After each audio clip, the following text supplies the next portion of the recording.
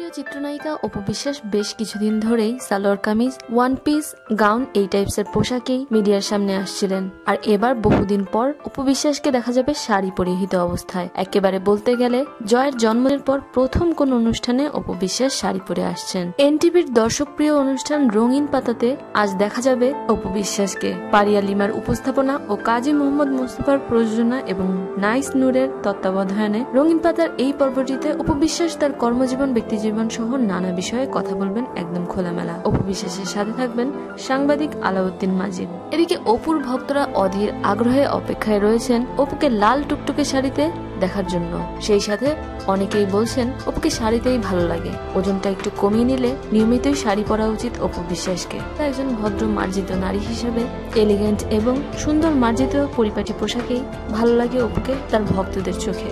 প্রিয় দর্শক, কি মনে হয়, কোন পোশাকে আসলে বেশি মানায় অপু বিশ্বাসকে? শাড়ি নাকি সালোয়ার কামিজ নাকি ওয়েস্টার্ন পোশাক? এ নিয়ে আপনাদের যে কোনো মতামত শেয়ার করুন আমাদের সাথে। শোবিজের আরও নিত্য নতুন খবর জানতে আমাদের সাবস্ক্রাইব করুন, লাইক দিন এবং কমেন্ট করতে ভুলবেন না।